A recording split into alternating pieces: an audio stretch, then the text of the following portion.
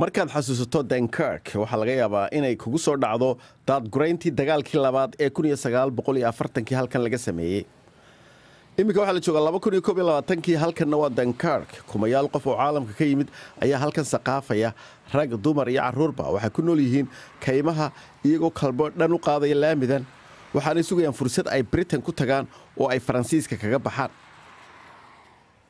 waxaannu la joognay oo la hadalnay dadkan xaniban. Maalmihii u dambeeyey booliska faransiiska ayaa iyaguna halkan subaxdii horeba howlgal ka fuliyey. Dadka qaar ayaa jidka kolba dhan u socda sidaad arkaysaan kadib markii la burburiyey kaamamka ay deganaayeen booliska faransiiska ayaa iyagu furfuray teendhooyinkii oo halkaasi ka qaaday. Iminkana oo adiga arkaya kolba laamida ayay dhan u socdaan inta ay meel helayaan.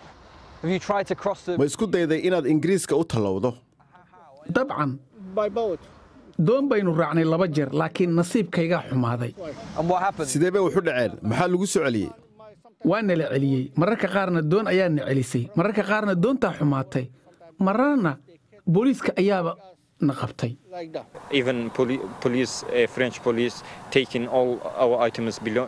booliiska faransiiska ayaa waxaannu sidana naga qaadan. Waxay burburiyeen teendhooyinkeenni iyo agabkii oo dhan.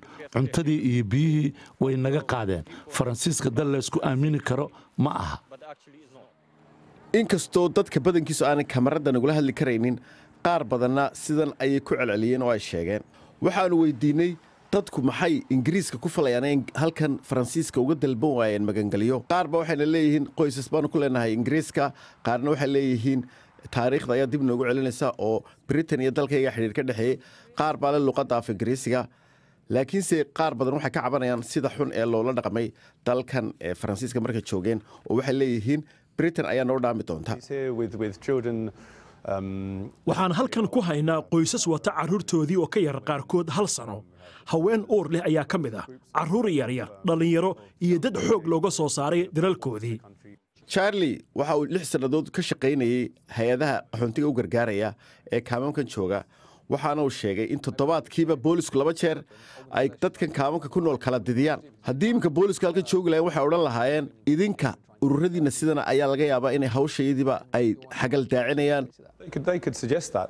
Way odhan karaan sidaasi laakiin annaga urur gargaaraha ayaynu nahay. Annagana ma qusayso sida dadkani ugu tallaabayaan u k. Taasi muhiimaddayada ma ahan. Waa wax laga naxo sida dadkan maalin walba loola dhaqmayo. Waa wax laga murugoodo sida xuquuqdoodii bini'aadantinimada loogu xadgudbayo maalin kasta. Waana howlgal ay maalgelisay dowladda u k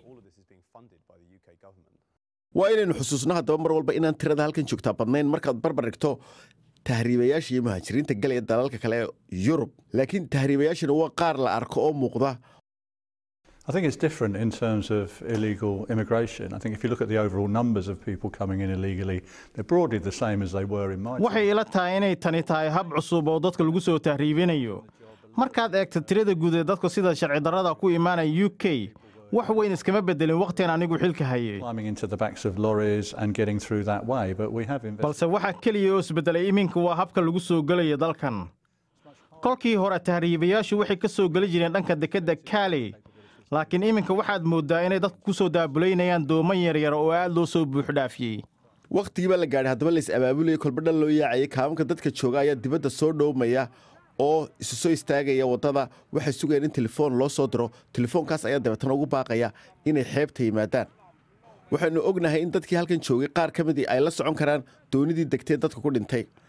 Xaaladda dhulka halkan ayuunbaa in yar dhaanta doomahaasi la fuulayo. Ma halkan ayaa wa- wadaagtaan?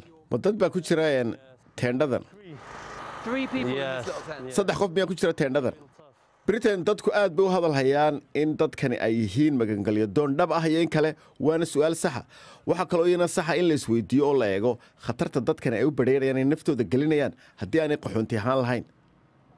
Ninkan aanan magacaabayn oo labaatan jir ayaa ii sheegay britain inay joogaan intii ka hadhay qoyskiisa. Imagine if you got ka waran haddaad tagto u k sidee bay noloshaadu noqonaysaa iyo mustaqbalkaagu? Nolol ayaan gelayaa sida dadka kale u nool yihiin shaqo guur dabadeedna carruur